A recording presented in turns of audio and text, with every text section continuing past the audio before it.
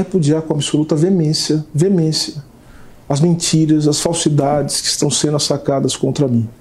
Eu quero também repudiar tais acusações e faço isso com a força do amor, do respeito que eu tenho Força pela minha amor. família, pela minha esposa, pela minha amada filha de um ano de idade. E em meio a essa luta que eu travo diariamente e faço isso é, com toda, é, enfim, com todo o carinho, com todo o cuidado que eu tenho com os direitos humanos que está dizendo nesse país. Toda, mas toda e qualquer denúncia, ela, ela deve ter materialidade. Entretanto, o que a gente consegue perceber justamente nessa matéria são ilações absurdas que têm o único intuito de me prejudicar, de apagar a minha história e as histórias é, que eu tento contar com a minha vida, com a minha, com a minha luta. Eu confesso para vocês que é muito triste viver tudo isso, que isso está doendo na minha alma, do fundo do meu coração, mas eu quero dizer que é um grupo, certamente, querendo diminuir minha existência, querer imputar a mim condutas que são coisas que eles praticam.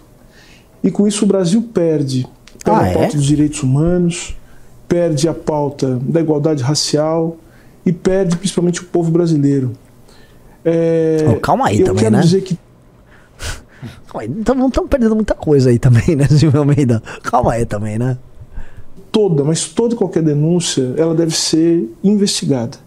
Investigada com todo o rigor da lei, mas para tanto é necessário, é preciso que os fatos sejam expostos. Para que eles possam ser apurados, é preciso saber o que de fato aconteceu.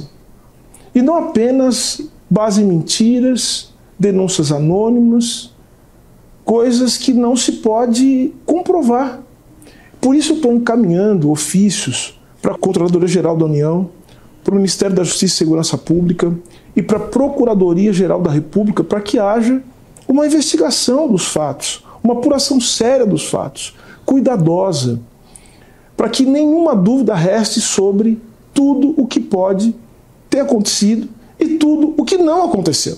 Eu quero dizer que falsas acusações são crimes tipificados no Código Penal, tem o nome de denuncia- denunciação caluniosa, além do que existem os crimes de calúnia, injúria e difamação.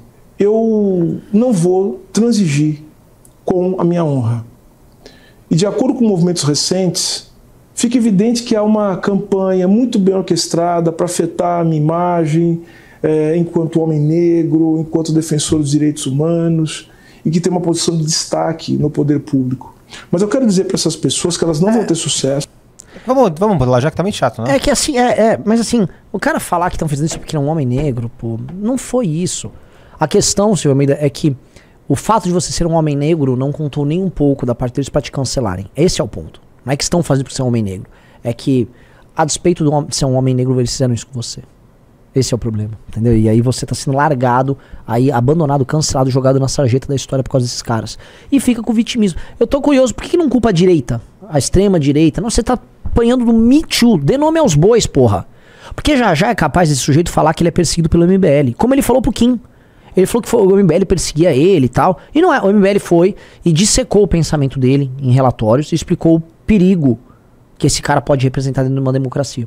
Nós temos isso, é uma crítica política dentro do jogo. A gente não falou que ele era ladrão, a gente não falou que ele era pilantra, a gente não falou que ele era assediador, não falamos nada disso. Quem fez isso, né, no campo do assédio, foi a turma da esquerda. Só que você não dá nome aos bois da turma da esquerda. Vocês não dão. Entendeu? E essa é a, nossa diferença de todos vocês. Que eu- ontem eu tava aqui arregaçando, né? É marçalista, é fã, fã de coach, é o, é o Bolsonaro usando a galera pra manifestação. Agora, tô arregaçando a esquerda. A gente é livre. E não é isso porque a gente, ó, vocês são livres, vocês querem bater tudo. Não, não. Nós temos um projeto próprio, tá? Nós temos nossa própria conduta. E nós temos nossa própria ética de trabalho. Nós somos diferentes desses caras. Nós praticamos, vamos dizer, política de uma maneira diferente, cara. Com todo respeito, Silvio Almeida. Entendeu? Aí fica aí. Não, grupos, o grupo Me Too, que quer controlar um naco do teu ministério e que você passou pra outra turma e que tá pistola com você e que eventualmente você deu uma chavecada lá. Posso falar o que eu acho? Dava bronca todo mundo, chavecava geral, contrariou interesses, deixou a Janja brava, tomou-lhe uma cancelada. É isso, porra. Acontece, Silvio Almeida. você anda com essa galera. E aí, cadê o, ah, o homem negro, não sei o quê? Eles não ligam pra isso. Eles, não- eles usam você como um estandarte pra demonstrar a virtuose deles, né? Oh, veja só, eu, eu amo os homens negros. Olha como eu gosto desse homem negro, não sei o quê. tal, tal. É muito babaca. É muito babaca. Você não devia aceitar estar nessa posição, tá? É, Você foi usado, Silvio Almeida. A real, Silvio Almeida, ele assim, você foi usado, meu irmão. É, eu queria que você pegasse a postagem da Vera Magalhães. Tá sumida, ela saiu do Twitter, mas ela, ela postou no Instagram. E a Vera Magalhães fez aquela postagem de branco condescendente, né? Atenção, branco com culpa fará uma postagem. Vamos lá.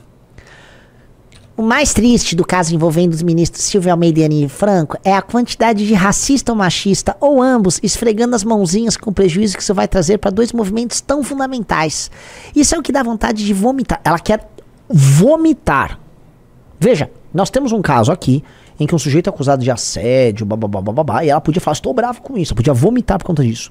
Ou ela podia vomitar tipo, puta, Me Too tá sendo usado para cancelar um homem negro. Não, ela está vomitando porque vão aparecer os racistas ou os machistas, tá? Esfregando as mãos. Então, a preocupação de Vera Magalhães é justamente com quem não tem nada a ver com a história. Que eu acho, assim, cômico. A, a Vera, diante de um caso desabonador do governo Lula, tá preocupado com possíveis racistas e machistas que estão fazendo assim com a mão. Caramba, Vera. Sobre o caso aí, você não tem nada a falar? Ela disse: Isso é o que dá vontade de vomitar. Por isso, nesse perfil, você não vai ler torcida, conclusão precipitada ou dedo apontado para algo tão sério envolvendo duas pessoas com biografias bonitas e trajetórias de defesa dos direitos humanos. A Aniele, ela é literalmente apenas a irmã da Marielle. a biografia dela é essa. E você está muito preocupada com essa biografia. né? Você está, vamos dizer, querendo defender a biografia dela e você está vomitando com um hipotético racista machista que está fazendo assim, ó. Ah, tá que pariu, hein? Que seja tudo esclarecido. Ô, cuidado aí, não mete um esclarecido que esclarecido é racismo, de acordo com a religião qual você faz parte, né? Que seja tudo enegrecido aí pra você não ser cancelado. Você tá louca, ô, ô Vera Magalhães? Que seja tode, tude, esclarecide. Sei lá, tá? Desculpa fazer essa piada meio de, de jacu de direita, mas, né? Pelo amor de Deus, pelo amor de Deus. Isso é um puta de um... Isso aqui é o famoso branco culpado, né? Então assim, sou uma mulher branca culpada e eu preciso opinar assim, ai... Gosto muito desses dois representantes de minorias que eu utilizo como estandarte pra mostrar que eu sou uma pessoa moralmente superior, tá? É, tô lamentando isso, mas assim, eu tô enojada mesmo é com um potencial branco, racista, homem hétero que pode estar gostando dessa briga. Por exemplo, eu sou, dentro de termos bem brasileiros, eu sou, posso ser considerado branco. Eu sou um cara hétero, tá? Sou um sujeito de direita. E não é que eu tô assim com essa briga. Eu poderia estar assim com essa briga. Então, a Vera Magalhães poderia vomitar em mim, mas eu não tô muito assim porque tudo que envolva Me Too é asqueroso pra mim. Então eu não consegui ficar assim com essa briga. Entendeu? Mas, eventualmente, ela vomitaria, só porque eu sou eu. né? Então, esse tweet, é, assim, é, é um tweet, assim... Ele, obviamente, foi postado diretamente da, sei lá, de Perdizes. né? postado diretamente da Vila Madalena. Ah, onde brancos culpados se acumulam entre cafeterias e... e apartamentos com decoração meio anos 60. É cada, cada uma, né? Renan, já temos uma hora de live sem nenhuma queda, graças a VeroNet. Veronet, não é Americanet? Era Americanet, agora é VeroNet. Ah, eles são a Vero... Obrigado a Veronet, tá? tá? tá funcionando, não teve nenhuma quedinha, tá? O, o Pedro Detrás falou, o que, que o Renan tem contra o Mewtwo? Bela, bela pergunta. É, eu vou mandar o Mil resolver esse assunto, tá? É, Vera Magalhães tem um novo Reels, dê uma olhada. Vamos ver o Reels aí da Vera Magalhães. Aparentemente ela se posicionou novamente sobre o assunto. Ah, Quê? hã? Vai ter aula depois aqui, não? Não, não, vai ter o Ricardo aqui na live, ele vai entrar no meu lugar. Tá. Quer, quer reagir a... a- Eu reajo ela e já eu tro- eu faço, eu faço a troca. Então vamos lá. Conclusão bastante inesperada, Sardenberg, porque reúne muitos ele elementos bastante sensíveis, delicados esse caso. Porque o ministro Silvio Almeida, dos Direitos Humanos, um jurista reputado, conhecido, acadêmico, autor de vários livros, foi acusado é, em reportagens que começaram a ser publicadas ontem, e, e houve uma série delas desde então. Primeiro, de vários casos de assédio moral é, com uma reportagem do UOL que mostrou é, demissões em massa no Ministério, acusações de maus tratos, de perseguições por parte do ministro. É, Ela usou a palavra abuso, de né? assédio sexual, com a informação de que várias colaboradoras, várias assessoras teriam feito denúncias à ONG Bitu Brasil é, e que entre as pessoas vítimas de assédio sexual por parte dele estaria uma colega do Ministério, a ministra da Igualdade Racial, Aniele Franco branco, também ela uma mulher negra.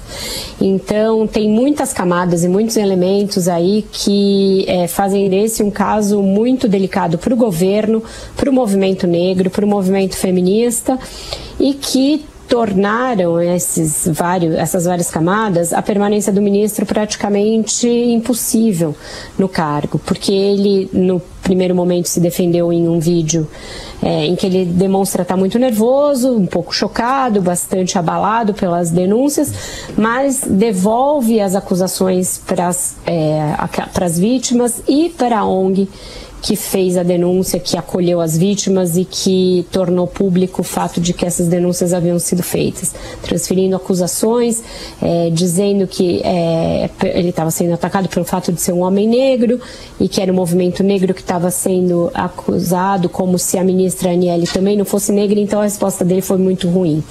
Some-se a isso o fato de que a primeira-dama, Rosângela da Silva, Janja, saiu em defesa da ministra num post que, em que ela não diz nada, mas diz tudo porque ela ela publicou uma foto nos stories dela no Instagram beijando a testa da Aniele Franco.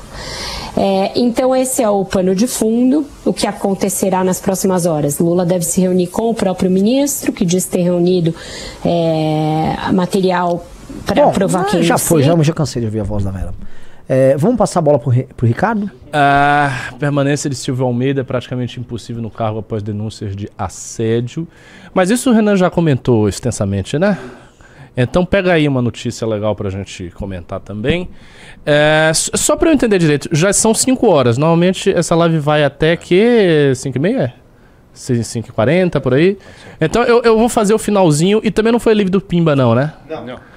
Pronto, então eu faço um comentário breve, aí...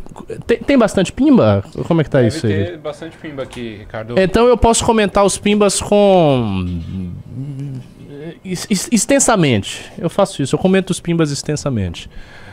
Uh, deixa eu ver o que, que o chat está falando. Renan Frugir pro Zéu. Chegou o Ronaldinho do Ronaldinho só for na gordura, né, cara? Uh, momento bombástico. Ah, Aleikum Salam. Aqui, aí. Salam Aleikum Rahmatullahi Barakatuh. Caramba, o Gabriel Lawrence faz a saudação. Ah, esse Gabriel é o cara que sempre fala Sempre me pede para falar de ocultismo islâmico. Peraí que é, tá modo baiano.